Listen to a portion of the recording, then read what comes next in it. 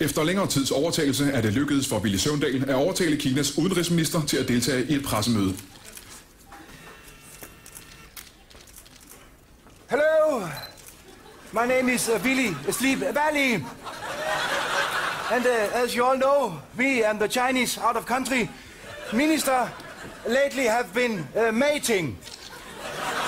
And um, I'm very glad, very happy to say that our meeting, our debates, has uh, borne a lot of fruit.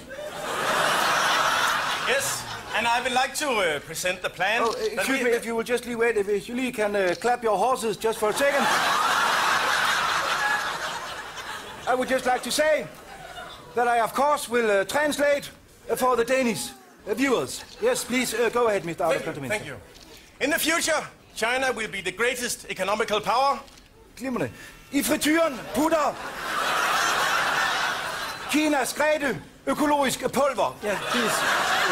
From now on, there will be no human rights. Fra nu af er der ingen humus øh, til højre. And this is not up for discussion.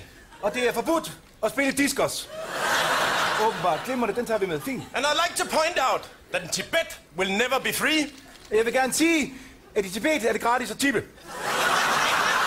And we will continue to use child labor for profit. Og vi vil fortsætte med at bruge børnelæber som profeter. Virkelig.